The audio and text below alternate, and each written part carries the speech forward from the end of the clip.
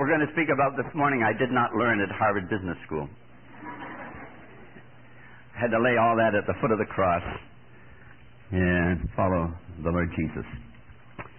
Would you turn with me, please, to Romans chapter 4 and verses 4 and 5. Just two verses. Romans chapter 4 and verses 4 and 5. Now to him who works, the wages are not counted as grace, but as debt. But to him who does not work, but believes on him who justifies the ungodly, his faith is counted for righteousness.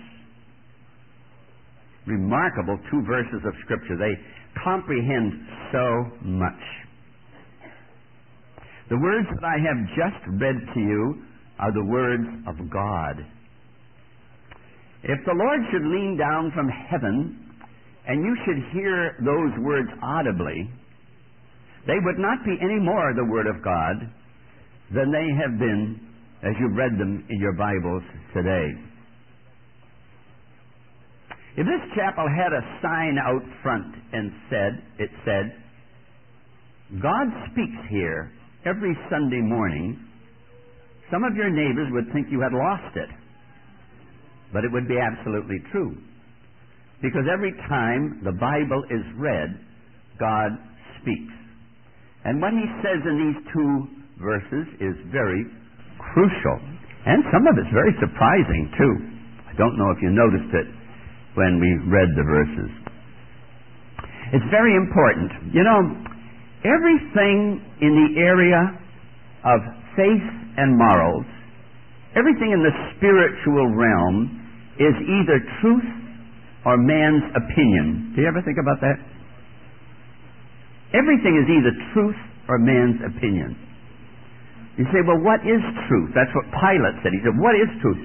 Truth is what God says about something. And man's opinion is man's idea of things. The trouble with man's opinion is, you know, which man is right. there are so many different opinions. If you don't believe it, just uh, read the to the editor's column in Time magazine or your daily newspaper or something like. It. And I mean, you just become dazzled and confused by the variety of human opinion. But you know, truth is static. Truth is the same down through the centuries. And in this book, we have truth. And Lord Jesus said that, didn't he? Sanctify them through thy truth. Thy word is truth. I tell you, friends, it's great to have an authority you can plant your feet on and know that it's absolutely true. There was a young man, and he was delivering a, delivering a scholarly discourse and in this whole area of faith and morals. And uh, another young fellow in the audience raised his hand and he said, what is your authority for saying that? And the young man said, I don't know. Give him credit at least for being honest.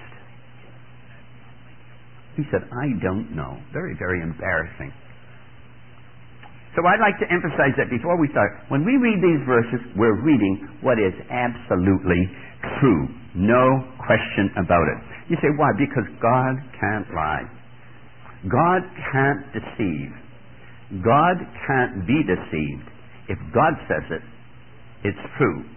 And God says the words that we read here. Now, this has to do with the whole subject of salvation, of how can I be sure of heaven? How can I be sure of heaven? What's going to happen when I die? Is there any way that I can have positive assurance that I will go to heaven? That's the general, uh, the general subject here. In devising a plan of salvation, there were only three possibilities available to God. And two of them weren't possibilities at all, as we'll see. There were only three possibilities. First of all, you're saved by works, by what you do. Or it by living a good life. Secondly, you're saved by your character. Or thirdly, he just gives salvation as a gift. I can't think of any other possible way in which salvation could ever be devised. I try, I rack my brain it. No. It's got to either be by works, by human merit, as character, or just receive it as a gift. And it says in this first verse that we read, verse 4, Now to him who works, the wages are not counted as grace, but as debt. In verse 4, you have the wrong way of salvation. In verse 5, you have the right way of salvation. Hmm? They're just put in contrast here. The first verse um, describes a man who's working for his salvation. He's going to earn salvation by good works. And incidentally, that's what most of the people in the world believe today. It's the greatest heresy that has ever entered the human mind. Salvation by works. You see, as Dr. Ironside used to say, there are only two religions in the world. You say, oh, now come on, MacDonald, I can think of more than two. Well, you can think of more subheadings, but you can only think of two most religions in the world teach that you're saved by doing certain things. By doing certain things. And that covers the gamut, really, pretty much the gamut of religions in the world today. Salvation by works. And verse 4 says it's not the right way. To him who works, the wages work. You work for wages. This is not gift. This is wages you earn. The wages are not counted as grace, but as debt. What do you mean by grace? Well, grace, as we know, is unmerited favor. But when I think of that word grace, there's another word that's closely connected with it, and I cannot divorce the word from grace, and that's gift. Grace is closely connected with the idea of a gift. To him who works, the wages are not counted as grace, but as debt. In other words, if you were to work and gain your salvation by those works, God would be indebted to you. The difference, God isn't indebted to any of his creatures. That rules that out. It rules it out very carefully. This is, first of all, an impossible way of salvation. And I'll tell you why. First of all, the Word of God condemns it. It says there's a way that seems right unto a man, but the ends thereof are the ways of death. God's requirement, this will shock you, God's requirement is absolutely perfection, you see. It says, the wages of sin is death, but the gift of God is eternal life through Jesus Christ our Lord. All have come short of the glory of God. What does that mean? All have come short of the glory of God. Well, the glory of God is the measure of His, the standard of His perfection. Has to be that way. God couldn't say, well, do the best you can. It wouldn't be God. He said that. God would say, well, if, if God said, just um, be moderate in your sin, but never, don't go the full length, you know. That wouldn't be God. God couldn't say that. God demands perfection. That's the glory of God. And of course, we all fall short of that, don't we? Can't produce perfection because we're born in sin and we're shapen in iniquity. We sin every word, every day in thought, word, and deed. Also, if we were to gain salvation by works, that would lead to boasting. Can you imagine what heaven would be like if people were saved by works? You'd be up there and you'd be boasting about, you know, the, the measure of your good works and how you had lived a clean life and you had done everything perfectly, you know, and I'd be saying, I wish he'd keep quiet so I can tell about my works, you know. That's what heaven, that wouldn't be heaven. That wouldn't be heaven if you have boasting like that. And Paul tells us in Romans chapter 3 that on the true way of salvation, boasting is excluded. He said, why is boasting excluded?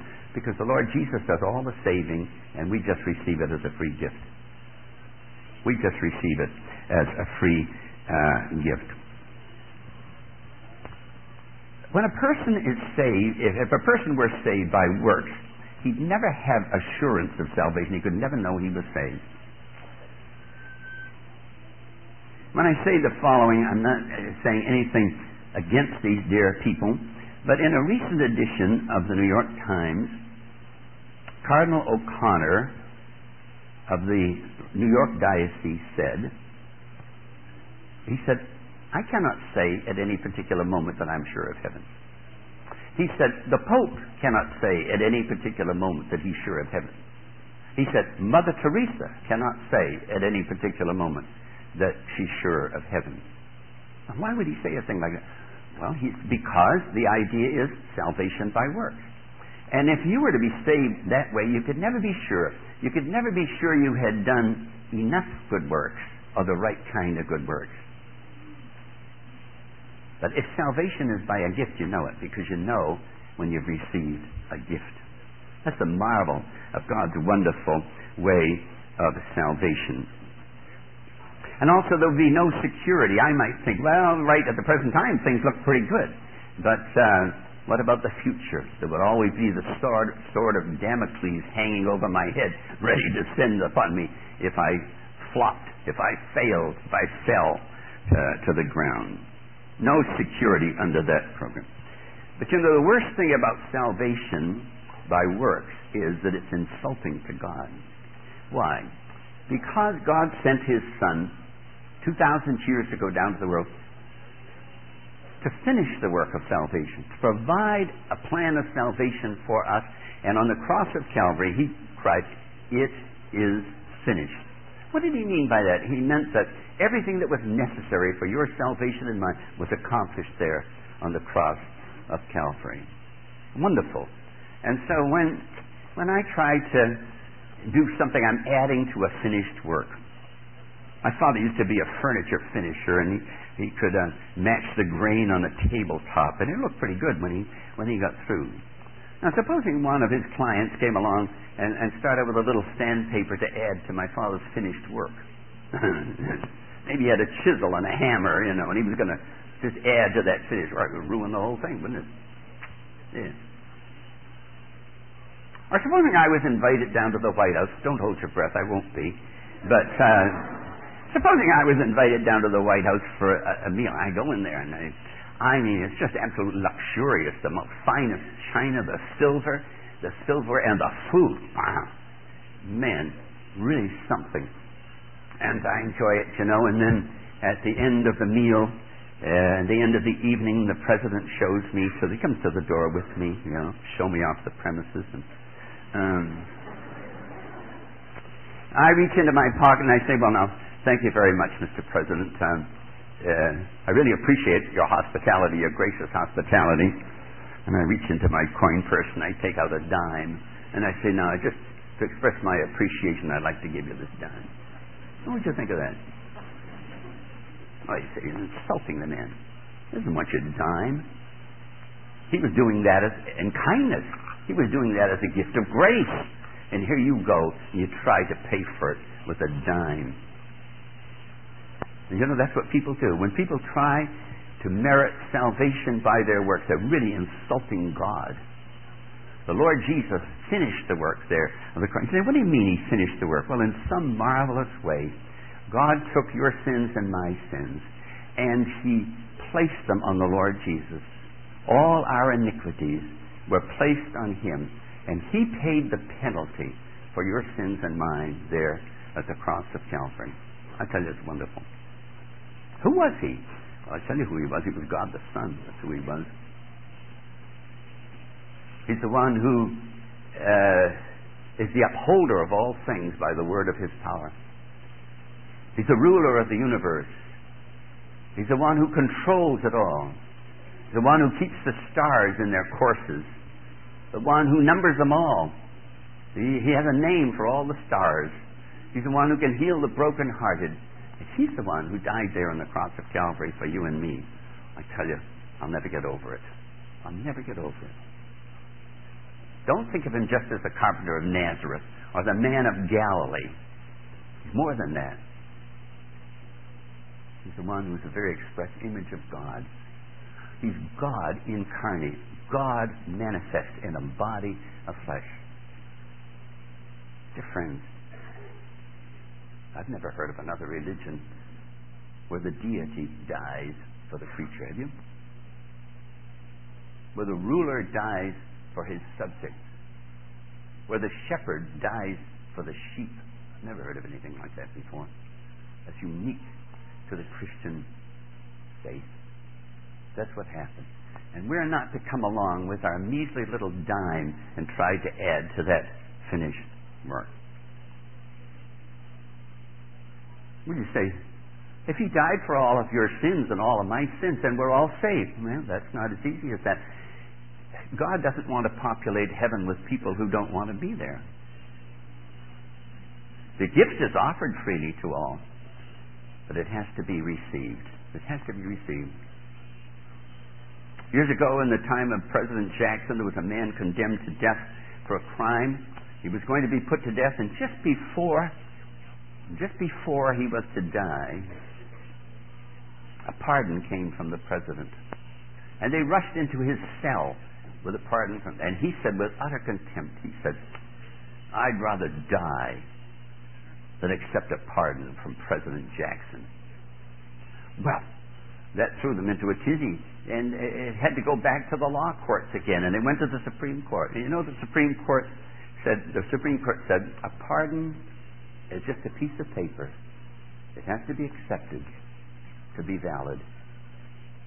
You know, that's true.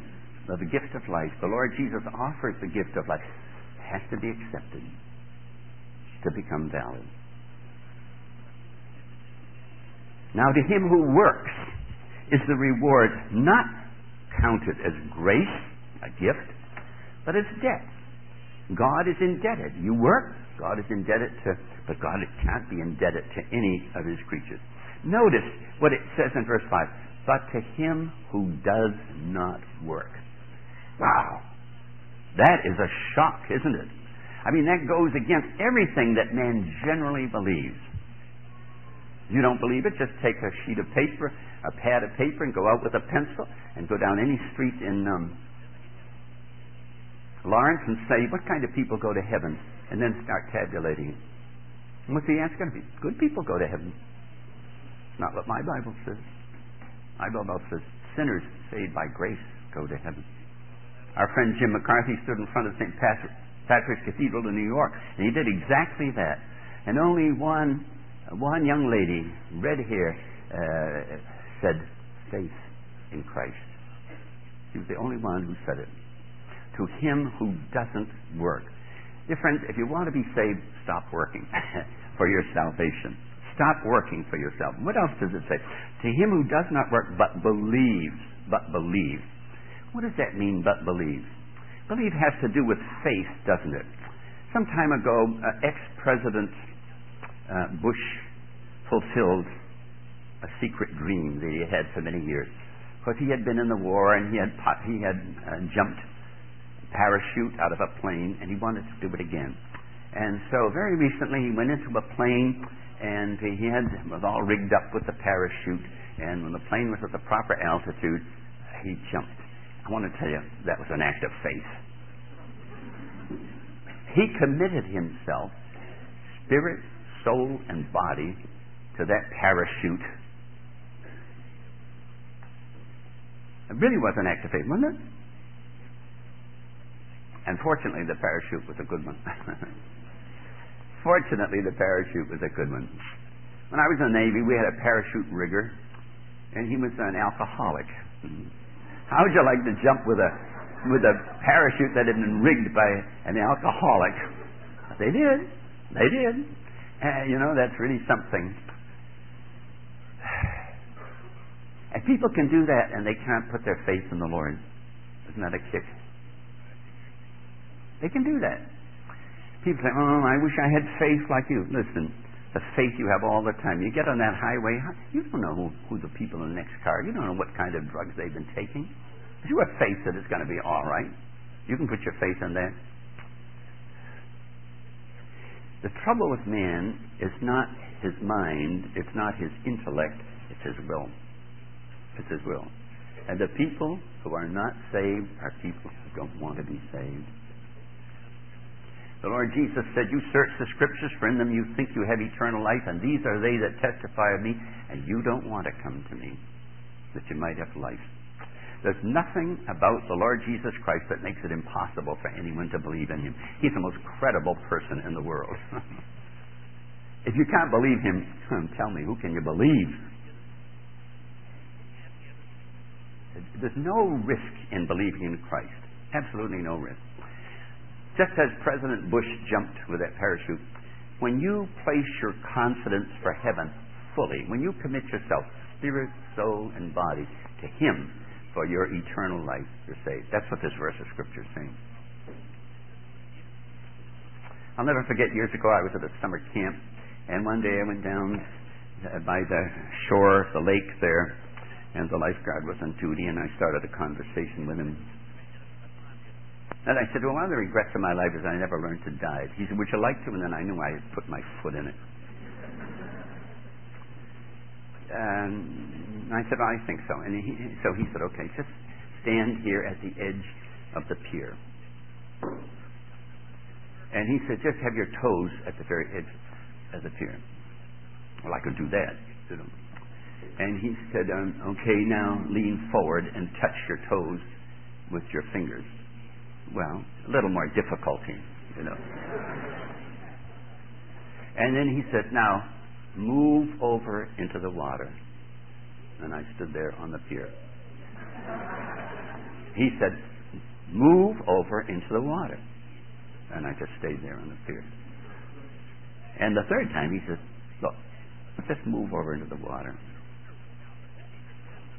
And I was ashamed to stay any longer. And in an act of desperation, I moved over to the water. My hands went out in front of me, and I took my first dive. But I want to tell you, it's an act of faith. Not one toe stayed up there on the platform. It was a total commitment of myself to the water. Dear friends, when you do that with the Lord Jesus, God saves you.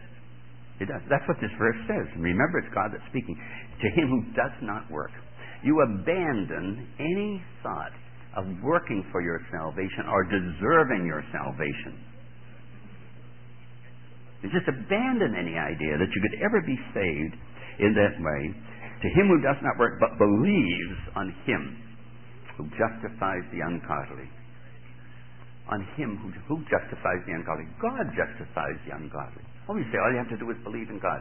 Believe in the existence. No, it's a little more than that. It's more than just believing that God exists because even the demons believe that God exists and they're not saved. But the idea is to believe that He sent His Son to die as a substitute on the cross of Calvary to believe that He paid the penalty, the eternal penalty for all your sins, and that by accepting Him, God writes your name down in the book of life. Believes on Him who justifies. What does that mean, justifies? Well, to justify means to make, to reckon righteous, not to make righteous, but to reckon righteous. It's a, it's a courtroom word. It's better than pardon. When you're pardoned, well, the record is still there, but you've been pardoned from that crime. It's better than forgiven because the record is still there. When God justifies it, this, there never had been a charge against you. That's pretty wonderful. You want to stop to think about it. That's pretty wonderful. When you believe on Him, God sees you in Christ and accepts you on that basis. This is, this is the way of salvation. I've often used the illustration, some of you have heard it before. When my father was a kid, he used to work with sheep up in the north of Scotland. And it oftentimes happened at, at lambing time that a sheep would have a lamb and the lamb would die. And it happened oftentimes with a big flock that the, uh, a sheep would have a lamb and the sheep would die. And my father was left with a, with a, a sheep without a lamb and a lamb without a sheep to feed it problem. What to do? You say, answer, no problem. Give the orphaned lamb to the sheep that doesn't have a lamb. Sorry, won't work. Why won't it work? Because that sheep knows it's not her lamb. She won't let that sheep come near her. She'll kick it away. What does the shepherd do?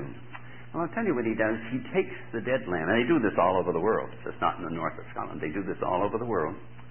They take that dead lamb and they skin it. And, and they take that skin and they just put it over the living lamb and just tie it with a couple of pieces of string. And then they nudge it over to that sheep that lost the lamb. She accepts it right away. She just, she just uh, bows the head and uh, sniffs. And what does she recognize? She recognizes her lamb, and she feeds it. Substitution. Huh? That's the way it is with us. When, when we trust the Lord Jesus as our Lord and Savior, God henceforth sees us in Christ and accepts us on that basis. Really wonderful, isn't it? He's given all these illustrations in nature to make it very vivid to us. To him who justifies the ungodly. Oh, this is interesting, isn't it? Uh, the first shock we got was in the beginning of this to him who doesn't work. What kind of people are saved? People who don't work for their salvation. But here it adds something to that. Who justifies the ungodly It's the only kind of people that can be saved. I often think of a story that Gene Gibson likes to tell of a, a Christian worker. He was talking to an elegant lady about her soul and about her soul's salvation. She was very refined. She was very cultured. She wore the finest of clothes. And he came to this word, ungodly, and it was rather offensive. He said to her, Would you mind if I just uh, wrote on this card the word ungodly and just pinned it to your dress. She said, I certainly would mind.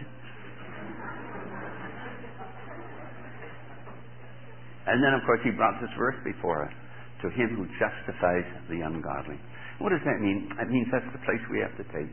We have to acknowledge the fact that we are ungodly, that we have sinned against God, and we're not worthy uh, for his salvation. We have to repent of those sins. We have to do an about face.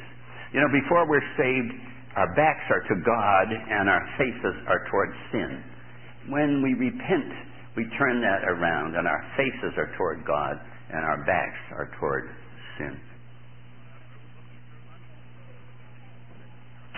To him who justifies the ungodly, this is, this is what it comes down to. Am I willing to acknowledge that I am ungodly, that I don't deserve salvation, but am I willing to receive it as a free gift? It says, His faith is accounted for righteousness. What does that mean? Well, in the simplest possible terms, it means that when God looks down and He sees a person repenting of his sins and putting his full trust in the Lord Jesus Christ, He justifies that person. He writes that person's name down in the book of life. He saves that person. That person is born again. And I like to emphasize, when I come to a verse like this, that justification takes place in the mind of God and not in the nervous system of the believer. It's something that happens in heaven. You say, well, how do you know it happens? By the Word of God. By the Word of God. You don't feel it, not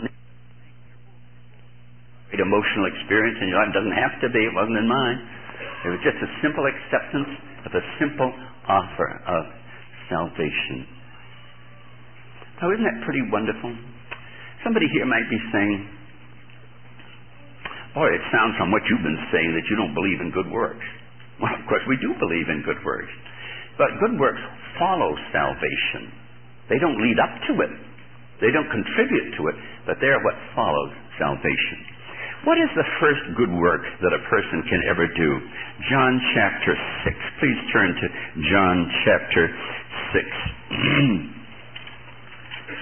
Here the Lord Jesus is speaking to unbelieving people, and uh, the word works comes up in the conversation. Um, and they come to him and they say, You know, what good work shall we do that we might inherit eternal life. See if I can just find the verse here. Um, what is it? 28. Thank you. Um, They said to him, verse 28, What shall we do that we may work the works of God? Jesus answered and said to them, This is the work of God, that you believe in him whom he has sent. The first good work that anyone can do is to believe on the Lord Jesus Christ. You say, what about all my gifts to the United Fund up till that time?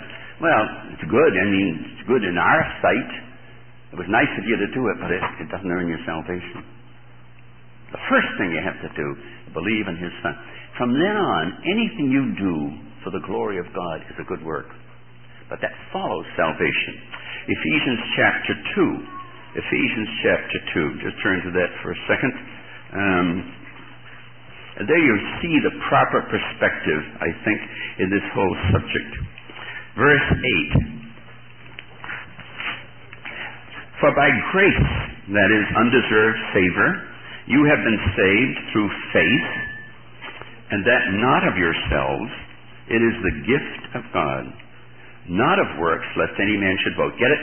Not of works, lest any man should boast. But here's the other side of it. For we are his workmanship, created in Christ Jesus for good works, which God prepared beforehand that we should walk in them. It says we're not saved by good works, we're saved for good works, or unto good works. Good works are not the root, good works are the fruit. Good works are not the cause, good works are the result. And you know, after you're saved, as I say, whatever you do for the glory of God, for the good of others, it counts with God as being um, a good work. And so you have this wonderful truth set forth so clearly here in Romans chapter 4 and verses, verses 4 and 5. Now to him who works, the wages are not counted as grace, but as debt. But to him who does not work, you know, as you go away from here today, if you're not a decided Christian, I just wish those words would ring in your mind. To him who does not work. Lay your deadly doing down, down at Jesus' feet, huh? stop trying to earn salvation by being a good guy, by doing the best you can, by doing good works. It says, to him who does not work, but believes on him who justifies the ungodly, his faith is counted for righteousness. Now, we often say you don't have to do anything for salvation. All you have to do is believe. And that sounds like a double talk, doesn't it? You don't have to do anything. All you have to do is believe. Well, the explanation of that is this. Faith is not a meritorious act. When we say you don't have to do anything for salvation, we mean you don't have to do anything meritorious. We, you don't have to do anything that counts as brownie points with God. That's what we mean, meritorious. Now, faith is not a meritorious work. You can't, for instance, pat yourself in the back and say, nice going, MacDonald. Pretty clever of you to believe in Jesus. No, I'd be foolish not to. I'd have everything, I have everything to gain and nothing to lose by believing in the Lord Jesus Christ. It's the most sane, sensible, rational, reasonable thing I can do. Look, if I can't believe my Creator, whom can I believe? So faith is not a meritorious work. It's a work, but it's not a meritorious. Repentance is not a meritorious work. It's a work, not a meritorious one. I don't heap honors to myself by repenting. Actually, I just, just lay myself in the dust when I repent and acknowledge that I'm ungodly in the sight of God, even if I might not be in the sight of my friends. I'm ungodly in the sight of God, and I need to be saved. Now, salvation is a gift. What do you do when somebody gives you a gift? You accept it and you say thank you just the way it is with salvation. God is saying, well, come, repent of your sins, believe on the Lord Jesus Christ. I'll, re- I'll give you salvation as a gift. You receive it, you're saved. You say, how do you know you're saved? Because the Word of God says so. John 5:24 Verily verily I say unto you he who hears my word believes on him that sent me has everlasting life shall not come into condemnation but is passed from death unto life. I know I'm saved because I have trusted Christ, and the Word of God says I'm saved. These things have I written unto you that believe in the name of the Son of God, that you may know that you have eternal life. I mentioned Cardinal O'Connell. I mentioned the Pope. I mentioned Mother Teresa. God says you can know that you have eternal life. Not if you're trying to get it by works, but if you receive it as a gift of God. And so the problem, the question today that we face is, if you're here and you're not a decided Christian, what are you going to do about it? It's marvelous, isn't it, to think that, that if a person is here, he knows he's a sinner, and he's willing to go God's way, he could walk out of this place a new creature in Christ Jesus and know that he's born again. I'm going to ask you to do something. If God has been speaking to your heart, maybe as a result of a long time of going through soul trouble, and you'd like to come down afterwards, just sit in one of these seats over here in the corner and have us pray with you. We'd like to do that. I'd like to pray with you. Or if you're here and you've wandered away from the Lord, your heart is cold toward the Lord, and you'd like to come down and pray, do that. Or if you're here and you're going through some crisis in life, some sorrow, maybe some sickness, maybe the death of a loved one, and you'd just like to sit down and have somebody pray with you. There are a lot of us here that would be just glad to sit down with you. These fellows here will just clear that place over there and there'll be plenty of place to stay. Don't worry about the meal. Long line. Uh, but wouldn't that be nice?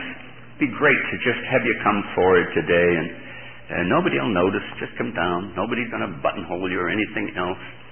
Just sit there and pray with you. Would you like to do that? We'd like to have you do it. We're going to pray and then we're going to give thanks for the food. But the meeting isn't over for anyone who really would like spiritual help. Father, we thank you for the simplicity of your word, the simplicity of the way of salvation. We don't have to work for our salvation. We don't have to merit it by a character that we don't have, but that we can receive it as a free gift because of the work of the Lord Jesus on our behalf at the cross of Calvary. Perhaps there is someone here today, Father, and you've been convicting by the Holy Spirit, convicting that person of sin. Maybe that person is ready to make the great decision today. We pray that that might be the case. Others here are going through uh, forms of soul trouble, uh, difficulty, heartache, sorrow, whatever it might be. We pray that you'll give them the grace just to come forward and that we might be able to pray with them and that they might know the strength, the grace of the Lord Jesus, the comfort and consolation of Christ. And now we do want to give you thanks for the food, Lord, that you so graciously provide. What a marvelous way in which you open your hand and supply the desire of every living creature. We thank you for the food that you provide, for the flavor, and for the beauty of the food, the differing colors, and the variety. We just acknowledge you as the giver of it all and give you our thanks. In the Savior's name, amen.